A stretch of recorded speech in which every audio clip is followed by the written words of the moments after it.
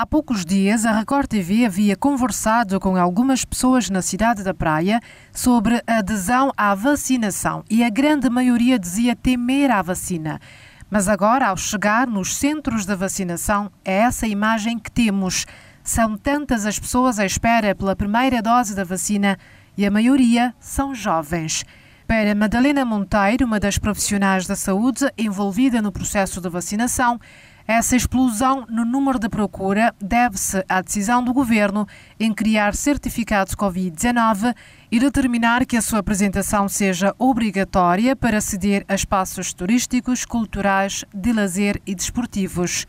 Desde que normas sei, mas para entrar em qualquer espaço, tem que ter pelo menos uma vacinação, uma dose. A fluência tem sido enorme. Camada jovem e também que as pessoas que querem viajar. Um beijo para não vacinar alguém não tem que sair na rua para não convidar-se. Não vai, não vai montar um, um, tenda na Brasil. Não vai montar na, na Fundo Cobom. Não vai para meio de chada. Não a ficar final, final de tarde para não conseguir para 40 e tal, para não conseguir para 50, mas com esforço.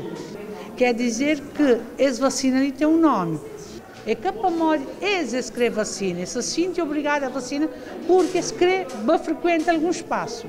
Que os técnicos ali que até conseguem levantar para fazer nada, porque não vacina por dia 300 e tal jovens. Ontem não atinge, acho que se não estou em erro, 400 uh, eh, jovens. Esse jovem acaba de tomar a sua primeira dose da vacina contra a Covid-19 e garante sua decisão nada tem a ver com a nova medida do Executivo. Eu sempre tinha na plano para tomar. Só que eu esperava que eles que mais irá tomar primeiro para ficar mais, mais rápido para mim. Do lado de fora do centro, umas dizem tomar a vacina por decisão espontânea, mas outras confessam se sentiram pressionadas com a nova regra. Só para morrer de trabalho, também como se tem giro que ele para tomar vacina, que ele alimentou. Sempre não sabia tomar vacina, só que se esperava momento de férias para tomava ele. E uma situação que notamos tanto num como no outro ponto de vacinação é que enquanto as pessoas aguardavam pela dose do imunizante, relaxavam no cumprimento de uma das medidas preventivas, o distanciamento físico.